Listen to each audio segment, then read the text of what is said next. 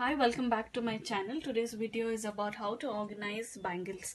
The things that are required is an empty container like this, a paper roll, scissors, any outer cover of a soap, Fevicol. If the paper roll is not available, you can use a PVC pipe. For a PVC pipe, if you are using a PVC glue is required. So let's get into the video as to how to fix this.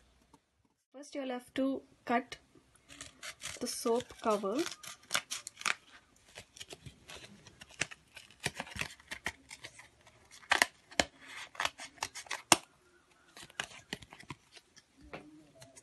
After this just cut it into a square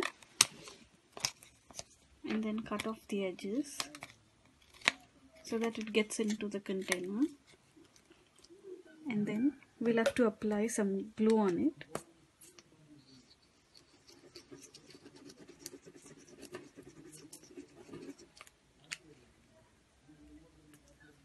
once the glue is applied we'll have to fix the paper roll or the PVC pipe. If in case y'all are uh, using the PVC pipe we'll have to use the glue.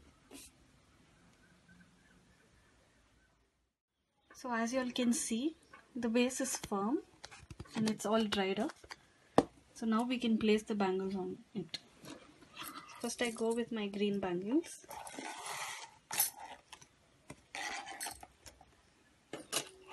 and then pink.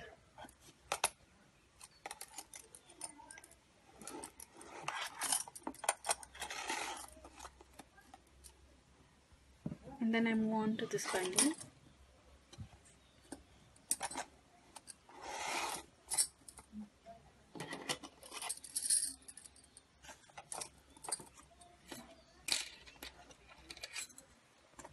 then I take these bangles and place it on it and then the final set. So this is how it looks. So this is how the final look is. So everything has been arranged into this paper roll. Now I'm putting it back into the container. Placed all my bangles into this container. Closing it off. So this is an easily accessible bangle organization which can be carried for our travel. You don't have to carry the entire bangle stand. So this will get into your travel kit as well. A special mention to my mom who actually taught me this hack. I hope you all have liked this video. If you all do please do like comment share and subscribe. Meet you all until the next video. Thank you. thank you